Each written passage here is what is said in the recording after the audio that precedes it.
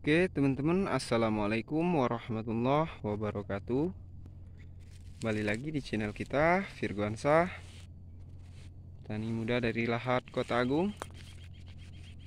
Oke teman-teman pada kesempatan kali ini Kita ingin berbagi Mengenai pemangkasan Mengenai keadaan kopi yang sudah kita lakukan pemangkasan Oke teman-teman, sebelumnya jangan lupa like, komen, dan subscribe-nya. Ikuti terus proses demi proses yang akan kita bagikan seiring waktunya. Oke teman-teman, langsung saja pada kesempatan kali ini yang ada di hadapan kita ini adalah salah satu proses atau rutinitas rutinitas kita dalam melakukan perawatan kopi, yaitu pemangkasan permanen. Sementara bahan-bahan di sini sudah siap untuk produksi juga. Dan bahan-bahan ini sudah kita lakukan pemeliharaan dari bulan 10 kemarin. Dan sudah kita fokuskan untuk mengganti ranting-ranting yang sudah tidak produktif lagi dan di sini juga ada B2 teman-teman bisa lihat kita review ini B2 artinya yang lanjut ke B2 yang masih kita produktif, produksikan karena pertumbuhannya masih produktif. Artinya di tahun berikut dia akan turun dan membawa buah. Yang mana kita lihat di sini proses apa namanya bakal bunga ini teman-teman bisa lihat. Ini akan terjadi pembungaan serentak. Tuh kita lihat review. Ini akan terjadi pembungaan serentak.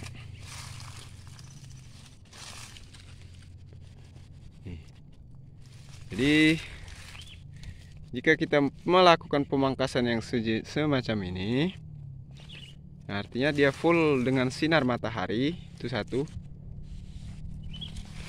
maka proses pembungaan itu akan sempurna teman-teman dan akan terjadi secara serentak.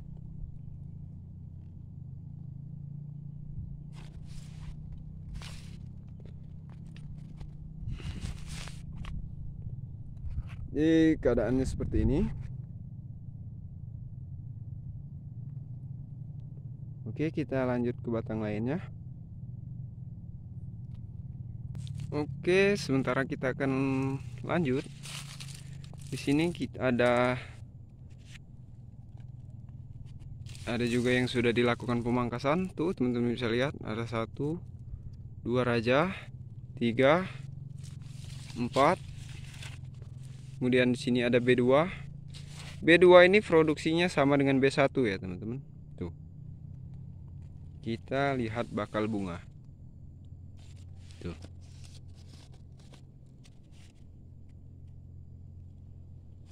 Dia juga akan memasuki pembungaan serentak dan pembungaan sempurna.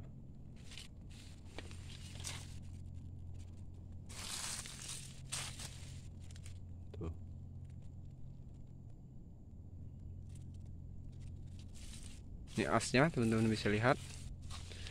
Jadi di sini poinnya teman-teman jangan takut untuk melakukan pemangkasan seperti yang saya lakukan. Ini semua ranting-ranting yang produktif saja. Artinya ini akan berproduksi di tahun berikut. Ini kita sebut ranting produktif. Artinya dia akan berproduksi di tahun berikut. Dan untuk proses selanjutnya setelah ia masuk ke pasca pembungaan sampai dengan bulan 10 itu belum kita lakukan penyimpanan bahan. Artinya semua tunas-tunas kecil yang tumbuh tunas-tunas cacing atau yang tumbuh di sela-sela buah ataupun yang dari awal itu semuanya kita akan lakukan pembuangan sampai dengan akhir bulan 9 dan setelah bulan 10 baru kita akan lakukan pemeliharaan bahan. Ya teman-teman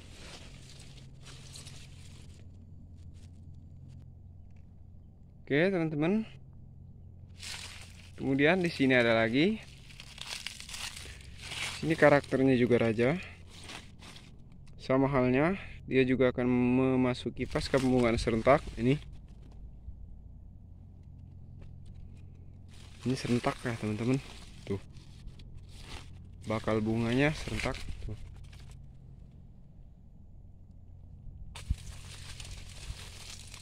mungkin ada pertanyaan dari teman-teman. Mengapa hanya sedikit sekali dalam melakukan penyimpanan bahan? Atau kopinya tidak rimbun? Tidak terlalu rimbun? Jadi saya akan menjawab. Jadi ini sistem perawatan yang saya lakukan. Itu dengan metode cetak dahan super ya teman-teman jadi mengapa saya katakan begitu saya hanya memproduksikan atau tuh ranting-ranting yang positif positif saja atau artinya yang sudah terpelihara dari bulan 10 kemarin. Jadi untuk selanjutnya saya akan berfokus ke sini, ke ranting-ranting yang sudah disiapkan. Hingga sampai bulan 10 barulah lakukan penyimpanan bahan lagi. Kemudian di saat itu buahnya sudah sebesar buah lada. Artinya, barulah kita lakukan penyimpanan bahan. Sementara buah kopi kita sudah tidak terganggu lagi. Teman-teman bisa simak. Kira-kira bisa praktekkan di kebun teman-teman. Dan nanti saya akan buatkan tutorial pemangkasan untuk kopi yang masih belum tertata ya belum dilakukan penyimpanan bahan maksudnya. Oke oke teman-teman. Tentunya untuk mendapatkan hasil seperti di video-video saya berikutnya keadaan kebun buah kopi saya pastinya dengan rutinitas dan terus belajar ya teman-teman. Ini pembungaan serentak. Kita fokus ke pembungaan serentak dan siapkan bahan terlebih dahulu.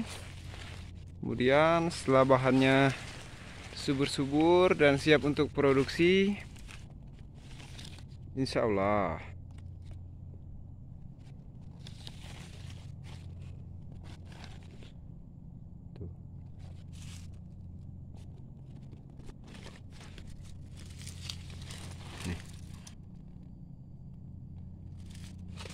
ini pertumbuhannya tidak saling tumpang tindih ya teman-teman.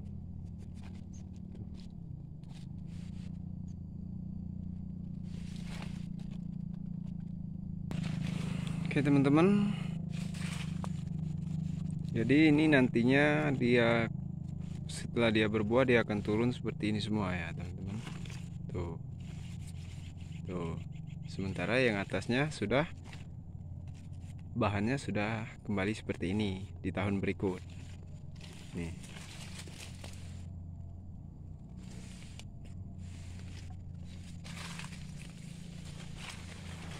Jadi kita fokus ke ranting-ranting produktif ya. Tuh. lakukan pembuangan untuk tunas-tunas yang kurus atau ranting-ranting yang kurus dan ranting-ranting yang tidak produktif serta yang pertumbuhannya itu saling bertumpang tindih atau berlapis. Oke, teman-teman. Jadi sekian tutorial atau penjelasan mengenai pemangkasan. Semoga videonya bermanfaat bagi teman-teman. Oke, ikutin terus video kita karena kita akan terus berbagi poin-poin penting untuk lebih baik dalam merawat kopi. Oke, salam petani muda, salam sukses. Assalamualaikum warahmatullahi wabarakatuh.